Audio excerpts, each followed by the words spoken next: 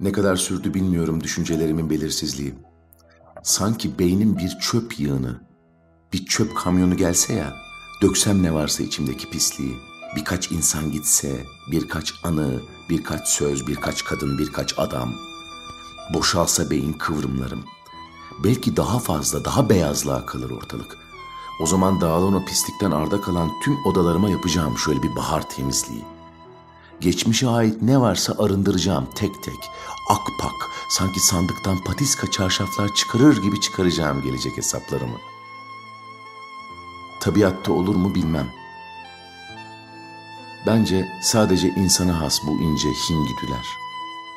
Hastalıklı halleriyle ortaya çıkan kendini kendinden ediş. Her gün tekrarlanan cümlelerin intihar girişimi neyi ne kadar yapacağımıza dair yapılan tüm o öğüt müsveddeleri. Her gün yeniden doğan güneş bir gün yüzünü başka bir yere çevirse dağılacak ateşten kor kelimeler. Bitmeyen, bitmeyecek insanoğlunun ben demiştim halleri. Asıl hastalık ne zaman başladı? İnsanoğlunun yaşayan tüm bu garip hallere karşı verdiği savaşta ilk kim kılıcı çekti? Büyük umutların yerle bir olmasının ilk örneği Shakespeare yazdığı piyeslere mi dayanır yoksa ilk reddedilişimizi yediğimiz, aşk güdülerimizi hayvani dürtülerimizle aldatıp kendimizi kandırdığımız Freud yüklü DNA'mızda mı?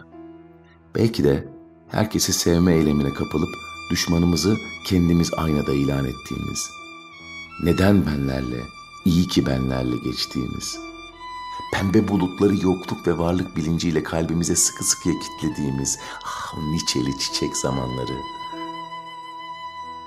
Tutunamadığımız ne varsa kendi sayısı kendinden menkul yüzlerimiz, suretlerimiz. Kendimize söylediğimiz oh, süslü püslü, allı pullu yalanlar. Üstelik kafa kağıdına da gerek duymadan savurduğu ruhlar. Şimdi türlü sesler arasından nefes alan tüm hayatlar size uğramadan yoluna varmıyor.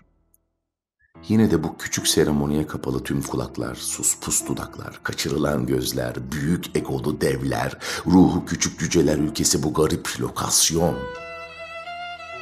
Oysa bu kadar serzeniş, fark ediş ve aynayla yapılan onca arsız sahte sohbetler eninde sonunda bir vakit yüzüme tek bir gerçeği vuruyor. Bana çok yazık oldu.'' Neden kahraman değilim?